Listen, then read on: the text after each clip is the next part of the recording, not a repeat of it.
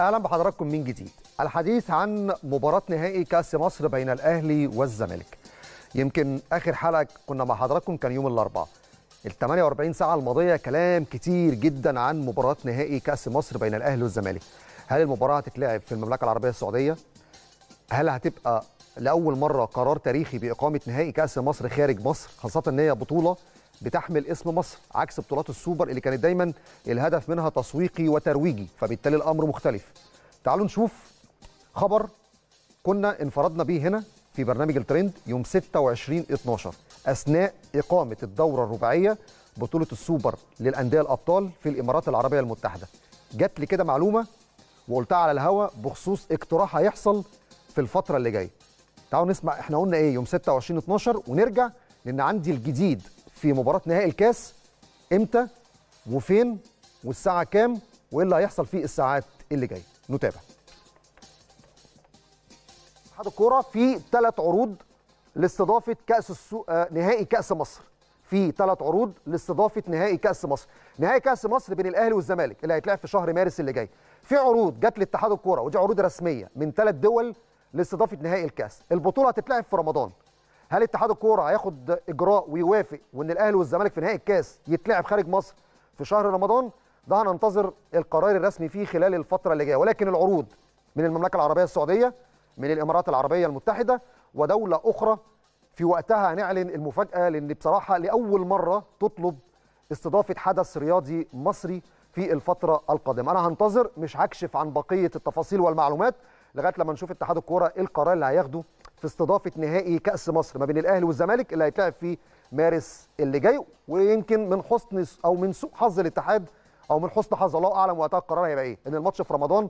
فهل ده هينفع يتلعب بره ولا يخلوا المباراة في مصر أفضل في الفترة اللي جاية؟ طيب ومن حسن حظ اتحاد الكورة بعد الكلام اللي إحنا اتكلمنا فيه يوم 26 12 يعني بالظبط إحنا بنتكلم بعد حوالي شهر ونص. على مدار أكثر من 45 يوم كان في اتصالات ومفاوضات وماذا سيحدث في هذا الملف. والحمد لله المعلومة أول ما اتقالت كانت من خلال برنامج الترند على شاشة قناة الأهلي في توقيت ما حدش كان يتخيل أساسا إن في فكرة إقامة نهائي الكاس خارج مصر.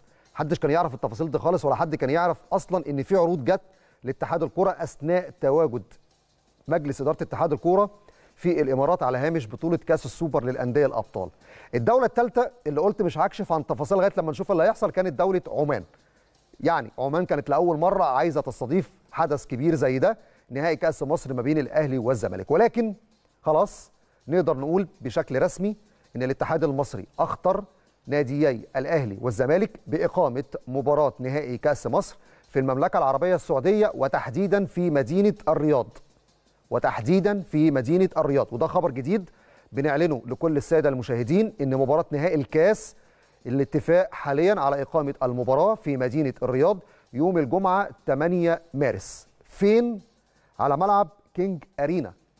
الملعب اللي بتقام عليه مباريات نادي الهلال واللي اتلعبت عليه مباريات الهلال والنصر منذ عدة أيام.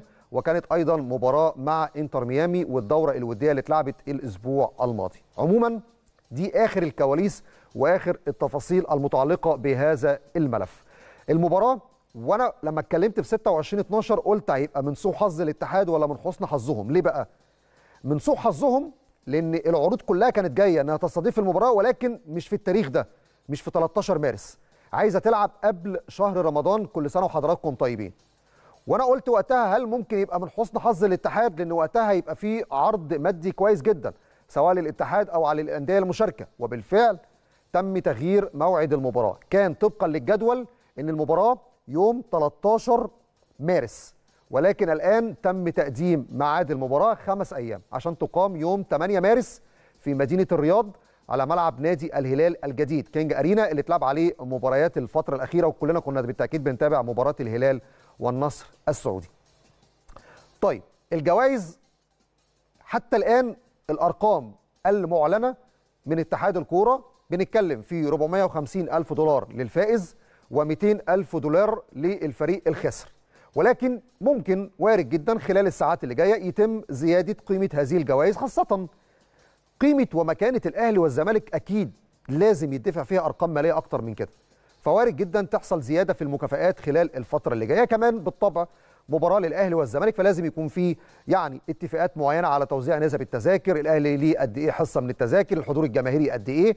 كل الترتيبات دي أكيد يعني هيتم الإعلان عنها خلال الفترة اللي جاية. ولكن بما إن إحنا بدأنا الملف ده من يوم 26 12 في التوقيت اللي محدش كان يتخيل أساسا إن ممكن نهائي الكاس يتلعب خارج مصر كان عندنا هذا السبق الصحفي والنهارده بنأكد عليه وبنقول لكم إن خلاص تم إرسال خطابات رسمية وإن المباراة هتتلعب يوم 8 مارس والجديد اللي تم في الساعات الأخيرة إن المباراة بنسبة كبيرة هتتلعب في مدينة الرياض وعلى ملعب نادي الهلال الجديد ملعب كينج أرينا اللي اتلعب عليه مباراة الهلال والنصر يوم الخميس الماضي. ده كان ملف مهم جدا كان لازم نأكد عليه ونتكلم عليه النهارده بخصوص مباراة الأهلي والزمالك في نهائي كأس مصر.